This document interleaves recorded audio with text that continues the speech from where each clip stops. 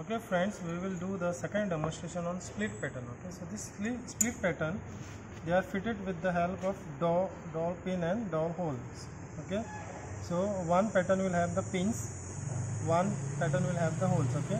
So we have to just begin with one pattern okay? So the position is we have used a drag we have put the upside down and we have to use one of this. So with the dowel pins we cannot use it okay? So it has to be the pattern with the holes. You have to just place it here okay? Use the parting sand as we did for the previous pattern. Okay? A little bit powder. The pattern. And put the sand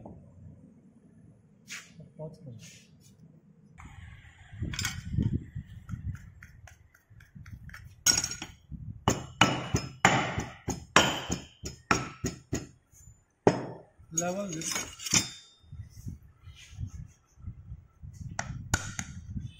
this is sand where it is required can put that is extra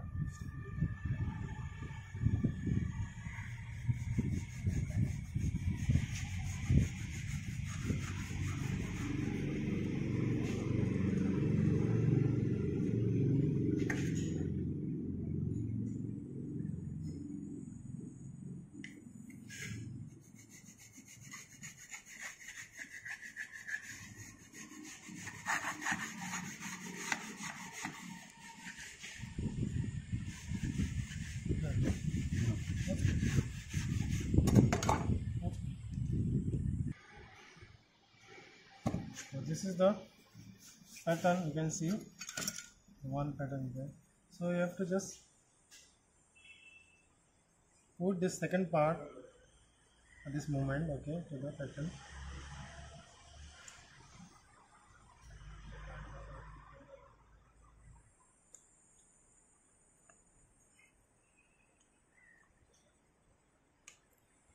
Okay, fit fit it okay, and then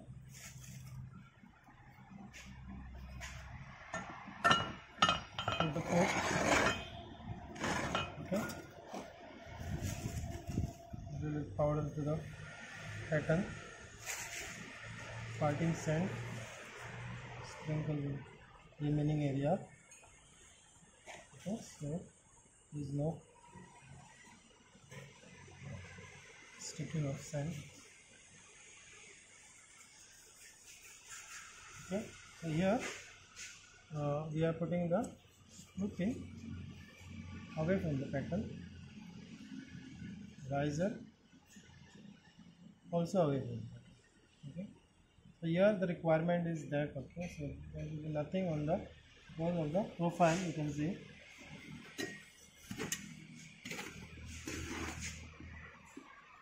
So now pour the sand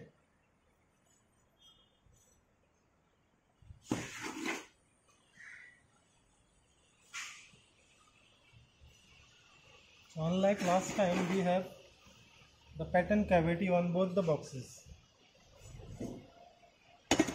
Okay, so carefully ram the second part as well. Since that also will give us the details. Okay. Now, screw pin.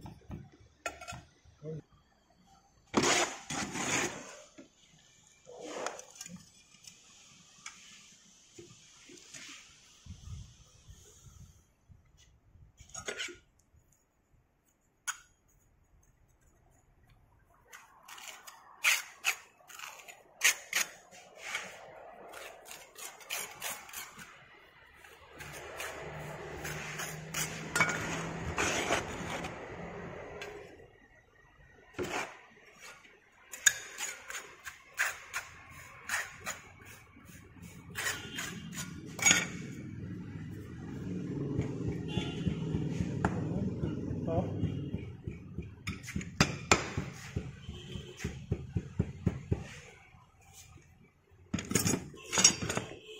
the leveling of part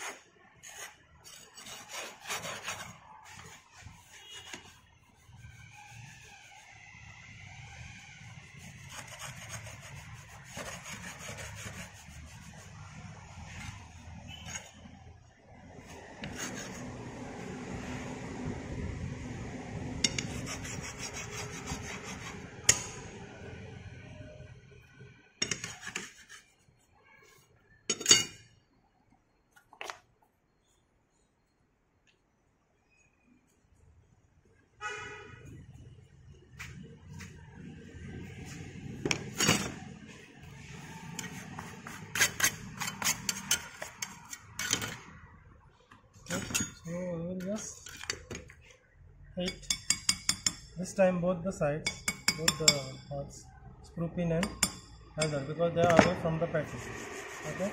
And at this moment actually we can take out the screw pin just fix this edges so some nothing falls inside the hole. And also the riser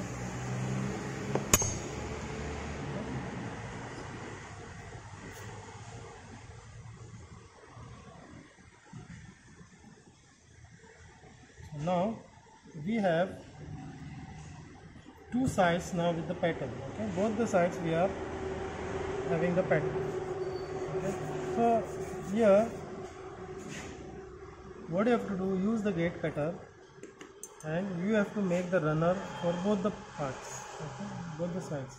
Just draw them first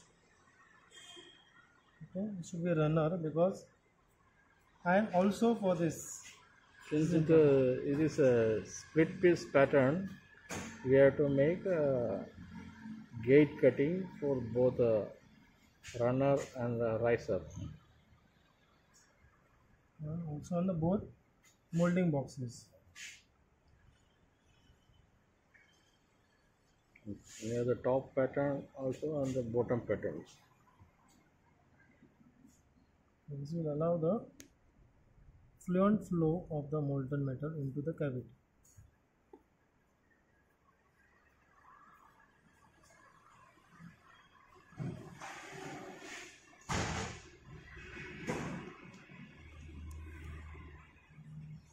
Okay that is the thing you have to notice. Here uh, again is some impact or it it frays from the its cavity okay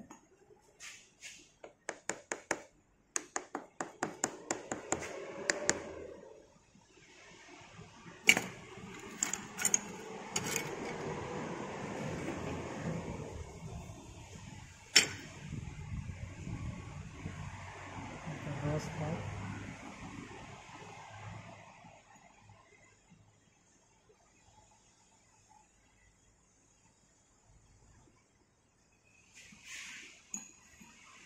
okay so here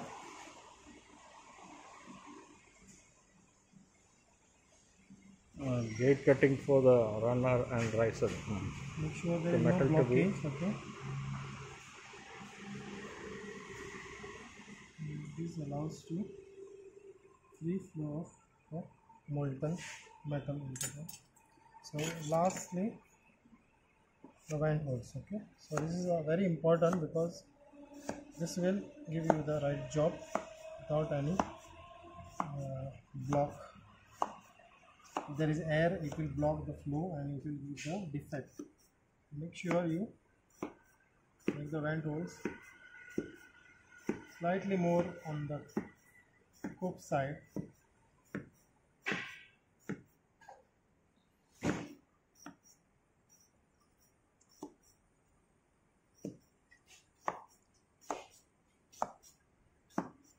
should be okay. Before we do the pouring last thing we do is the pouring basin actually we just increase the diameter and make it like a funnel for the pouring procedure to be easier.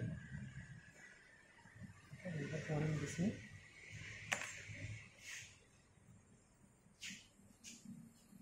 so make sure you match the numbers.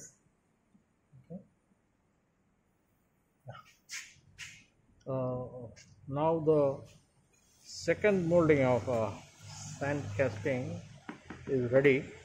This is we have used the split piece pattern uh, of aluminium pattern of these are the this is the pattern we used here uh, double piece pattern or split piece pattern.